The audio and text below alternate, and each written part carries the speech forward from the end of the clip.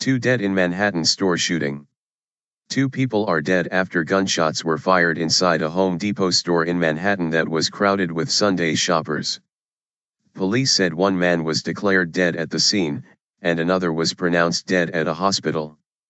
The alleged shooter, a 31-year-old store employee, turned the gun on himself after shooting a 38-year-old supervisor, the New York Daily News reported, citing an unidentified police source.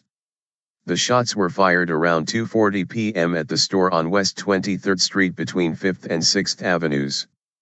The area was crowded with shoppers preparing for the approaching winter storm. It was crazy, shopper Susan Lowry told the Post. Some people jumped on the floor, others hid behind aisles or ran for the exits. Twitter at JJimip. Jimmy on Twitter. Home Depot spokesman Stephen Holmes confirmed the shooting but said he had no details.